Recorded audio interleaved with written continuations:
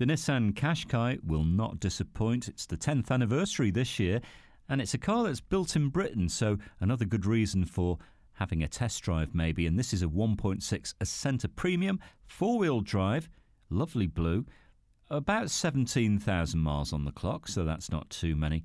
And just a great car inside and out, and fun to drive, a roomy cloth interior this has a lot to keep you happy a very light and airy cabin due to the panoramic roof, a reversing camera, climate control, and parking sensors. Now, if you'd like to find out a little bit more, give Jackie and the team a call in our call centre. You can ring and reserve with no deposit and no obligation. Bring your licence with you, have a test drive, and discover this great car for yourself at Fords of Winsford.